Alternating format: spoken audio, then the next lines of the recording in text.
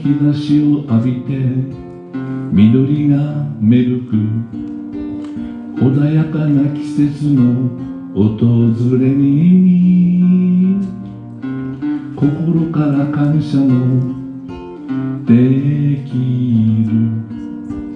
優しい人が暮らす街。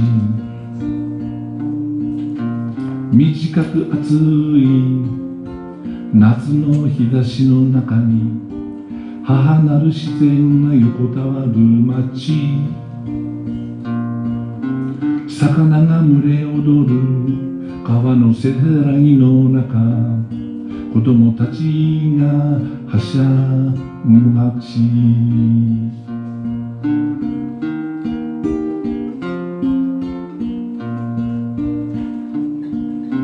火のように燃える秋の山裾に真っ赤な夕日が沈む街。やがて訪れる冬将軍の声に身支度を始める街並み。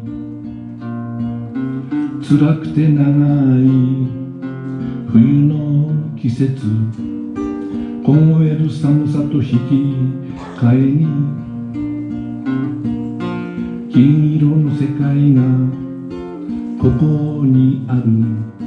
さあ乾杯しよう雪で冷やしたワイン。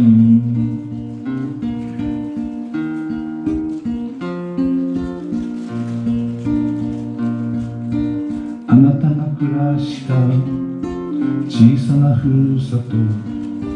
僕が暮らす小さなふるさと盛岡。